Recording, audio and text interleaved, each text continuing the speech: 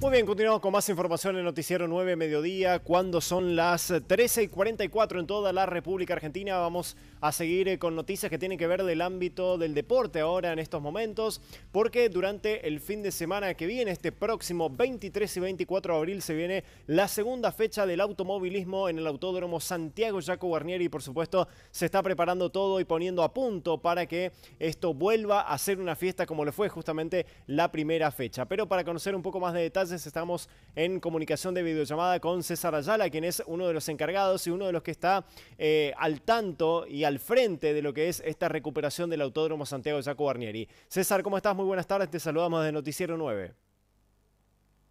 Eh, bueno, buenas tardes para vos y para toda la gente que está, la audiencia de Canal 9. Bueno, gracias César por tu tiempo. Eh, se ha trabajado muchísimo, imagino, para este nuevo fin de semana, para esta segunda fecha del automovilismo, ¿no, César?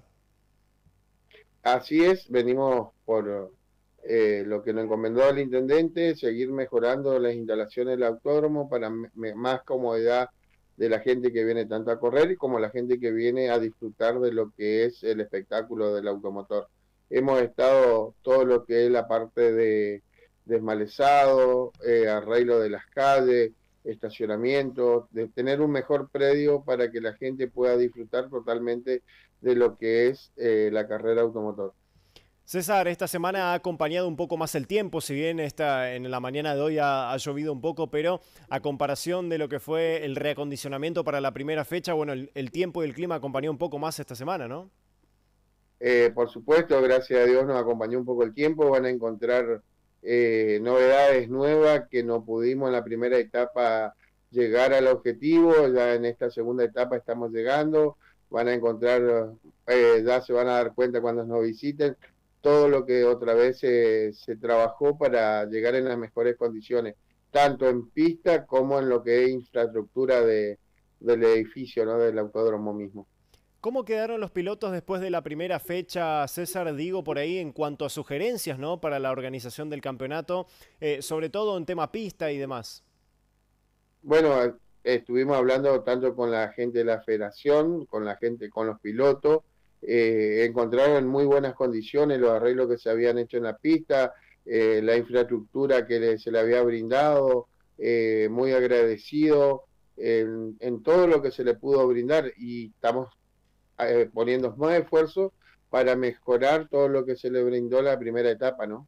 Claro. Tanto a los pilotos, a los mecánicos, como a los corredores mismos, eh, al público mismo, perdón. Claro. ¿Cuántas personas están trabajando en estos momentos allí, César, para seguir acondicionando todo para esta segunda fecha?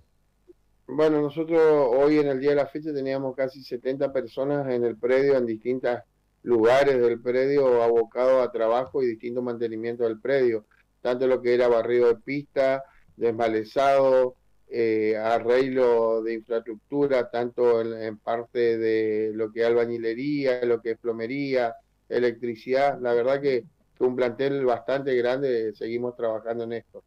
César, en cuanto a lo estrictamente deportivo, ¿qué se viene este fin de semana en el autódromo? Para que la gente entienda. Bueno, de, a partir del día sábado, de las 9 horas de la mañana, comenzarán la, lo que ellos llaman eh, eh, las series para la carrera del día domingo. Habrá serie del 128, el 600 y el TC 4000 del Zonal, que es de, de, la zona de los chaqueños, y también nos acompañan desde la zona de Santa Fe, lo que es el TC 4000 eh, regional. Ah. Así que va a haber más autos que la primera vez todavía. Se está hablando de un plantel casi de 86 a 90 pilotos. Claro, justo eso te estaba por, preguntar, César. Habrá muchos más pilotos y mucho más autos que la primera fecha, ¿no? Eh, así se habló y así es lo que está dispuesto de que va a haber más, más pilotos y más autos en pista que la vez anterior. César, cuando se habló o cuando el municipio justamente se comenzó a hacer cargo de este autódromo Santiago Jaco Barnieri, eh, se comenzó a hablar de una refuncionalización total del autódromo, no solamente para los eventos deportivos motores, sino también para eh, un sinnúmero de otras actividades eh, y lo van a demostrar también este fin de semana con gastronómicos, cerveceros, emprendedores también, ¿no? Desde la primera fecha nos, nos acompañaron toda la gente de emprendedores, gastronómicos, cervecero y esta fecha nos siguen acompañando. Eh, lo que se quiere hacer no solamente de la parte de, automovilismo, sino darle a todo el pueblo de resistencia, a todo ciudadano de resistencia, tanto de resistencia el interior y otras provincias que quieran acompañar, que eso sea una puerta abierta a todo el mundo. ¿Tiene algún eh, costo? sí. Eh, también que te, para comentarte, está el proyecto de hacer un cartódromo dentro del mismo autódromo y el alargue de la pista que el, intendente está trabajando muy duramente para conseguir eso, de poder llegar a alargar lo que es el autódromo y llegar también a las categorías de a nivel nacional. Claro. César, eh, ¿tiene algún costo la entrada para este fin de semana? Seguimos con entrada libre y gratuita, así que invitamos a todos los ciudadanos que quieran acercarse, a todos los vecinos de Resistencia o del interior o de otra provincia a acompañar este fin de semana eh, y que el tiempo nos acompañe a disfrutar de lo que es el, el automovilismo en la región de, del Chaco. Muchísimas gracias César por este contacto, ha sido muy amable. ¿eh?